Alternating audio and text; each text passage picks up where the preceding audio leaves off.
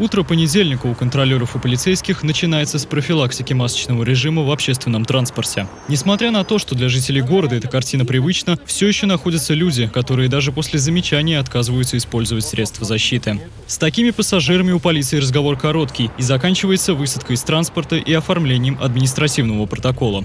Только за прошедшую неделю проверяющие выявили 17 подобных нарушений. Это вдвое больше, чем было до увеличения количества дневных рейдов. Сейчас соблюдение масочного режима ежедневно проверяют 12 раз, в утреннюю и вечернюю смены. На контроле специалистов не только пассажиры, но и работники транспорта, находящиеся на линиях.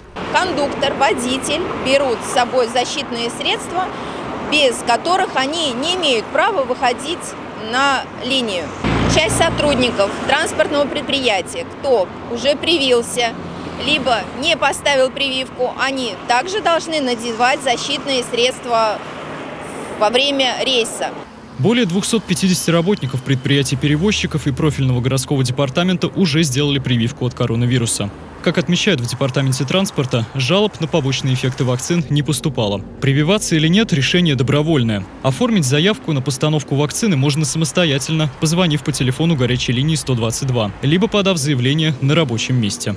Все сотрудники транспортных предприятий, а также департамента транспорта, которые подлежат вакцинации, занесены в списки. Эти списки аккумулируются в районных администрациях по месту нахождения предприятий и передаются в медицинские учреждения для проведения вакцинации. Ежедневный контроль за соблюдением масочного режима в общественном транспорте Самары начался в октябре прошлого года. Именно в этот осенний месяц к проверяющим подключилась полиция. За все это время в отношении безмасочников сотрудники правопорядка составили 293 административных протокола. В понедельник утром проверяющие зафиксировали два подобных нарушения. Михаил Ермоленко, Николай Сидоров. События.